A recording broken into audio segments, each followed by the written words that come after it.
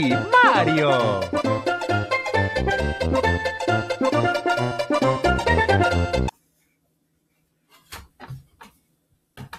I want some ice cream. No, Bowser, until you can finish your food.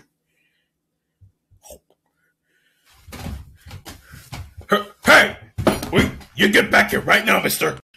No, don't you. Get down from that chair or you're in big trouble. Oh, you put the ice cream back right now. I mean it. I am not kidding around. I'm not going to say it again.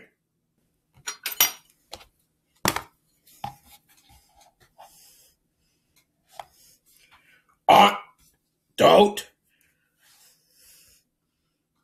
If you put the ice cream in your mouth, you're going to be in big trouble, young man. Uh, you. I.